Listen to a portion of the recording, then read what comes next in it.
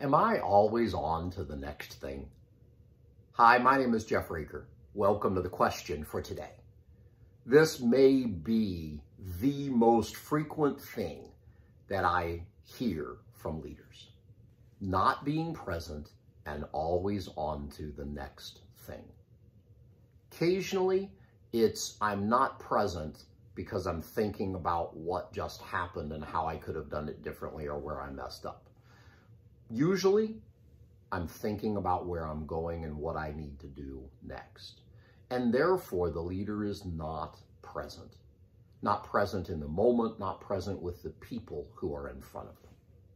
Is this you? Are you always on to the next thing? What will you do to be present? Let me suggest that at least one way to get at this is to use the word present as an acronym. P-R-E-S-E-N-T. What are the behaviors of someone who is present? Be creative with it. Figure it out. It can't just be something like have a different mindset, even though there's no M in present. What does that mean? What are you doing if there's a different mindset? It can't just be T, think about it. No, your brain is far too powerful and you have a habit of moving on to or always being on to the next thing.